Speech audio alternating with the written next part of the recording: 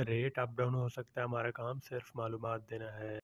बिसमीम आज 19 अगस्त 2020 और आज की इस ख़ास वीडियो में हम पाकिस्तान, इंडिया, बांग्लादेश और नेपाल के लिहाज से सऊदी रियाल का अपडेटेड और एक्सचेंज रेट जो है वो देखने वाले हैं कि इन चार कंट्रीज़ के हवाले से आपको कौन कौन सी बैंक्स जो है वो सिलेक्ट करनी चाहिए जो कि आपको आज सबसे ज़्यादा रियाल रेट देने की भरपूर कोशिश जो है वो कर रही हैं।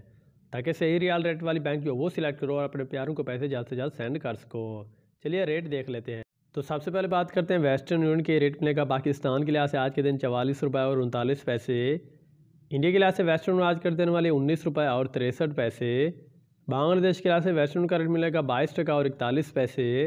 जबकि नेपाल के लिहाज से वेस्टर्न आज कर देने वाले इकतीस रुपये और पचहत्तर पैसे। और अगर हम बात करें मनीग्राम की तो रेट मिलेगा पाकिस्तान के लिहाज से चवालीस रुपये और इकतीस पैसे। इंडिया के लिहाज से मनीग्राम आज कर देने वाले उन्नीस रुपये और तिरसठ पैसे। बांग्लादेश के लिहाज से मनीग्राम का रेट मिलने वाला है बाईस टका और तीस पैसे। जबकि नेपाल के लिहाज से मनीग्राम आज कर देने वाले इकतीस रुपये और बावन पैसे। रियाद बैंक रेट देने वाली है पाकिस्तान के लिहाज से चवालीस रुपये ज़ीरो पाँच पैसे, जबकि इंडिया के लिहाज से आज का रेट मिलेगा उन्नीस रुपये और इक्यावन पैसे। और अगर इसके बाद हम बात कर लेते हैं इंजाज बैंक की तो रेट मिलेगा पाकिस्तान के लिहाज से चवालीस रुपये और इक्कीस पैसे। इंडिया के लिहाज से रेट मिलेगा उन्नीस रुपये और पैंसठ पैसे। बांग्लादेश के लिहाज से इंजाज बैंक आज कर देने वाले बाईस टका और पैंतीस पैसे। जबकि नेपाल के लिहाज से इंजाज बैंक आज का रेट मिलने वाला है, इकतीस रुपये और पैंतालीस पैसे। फौरी बैंक का रेट मिलेगा पाकिस्तान के लिहाज से आज के दिन आपको चवालीस रुपये और सोलह पैसे। इंडिया के लिहाज से फौरी बैंक आज कर देने वाले उन्नीस रुपये और सतासठ पैसे। बांग्लादेश के लिहाज से फौरी बैंक का रेट मिलेगा बाईस टका और तीस पैसे। जबकि नेपाल के लिहाज से फौरी बैंक आज कर देने वाले इकतीस रुपये और चौवन पैसे। बात करते हैं A N B tele money की तो रेट मिलेगा पाकिस्तान के लिहाज से चवालीस रुपये और तैंतीस पैसे। इंडिया के लिहाज रेट मिलेगा उन्नीस रुपये और चौंसठ पैसे। बांग्लादेश के लिहाज रेट मिलेगा बाईस टका और सत्ताईस पैसे। जबकि नेपाल के लिहाज से टेलीमनी रेट देने वाले इकतीस रुपये और सत्तर पैसे।